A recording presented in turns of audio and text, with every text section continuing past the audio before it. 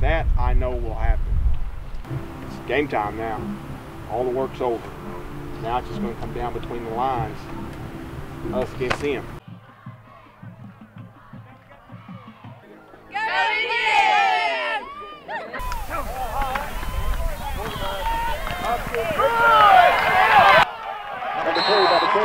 Well, I like this group of guys. We we our numbers are a little bit lower right now. We got, I think we're we're dressing about 40 on game night, which that's okay, you know, because it's 40 guys that have come together as a unit, come together as a team. I gotta make sure the team's pumped up for the game and everything.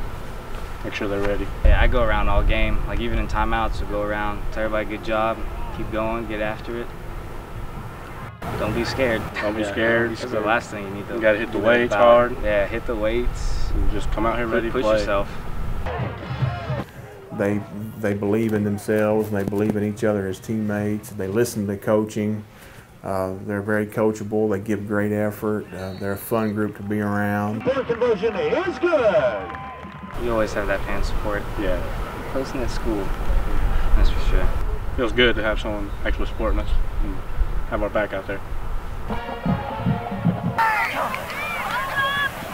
Sequoyah has such uh, a big following.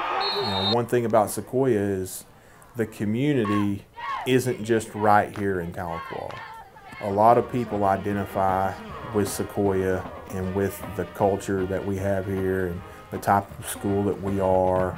And one of the greatest things about coaching here is just how many people know Sequoyah and how many how far reaching it is where the alumni are.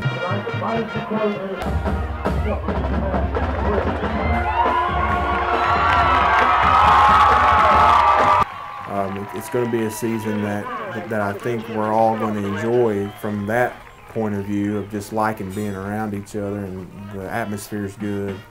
So hopefully, you know, that can translate into into some good play too.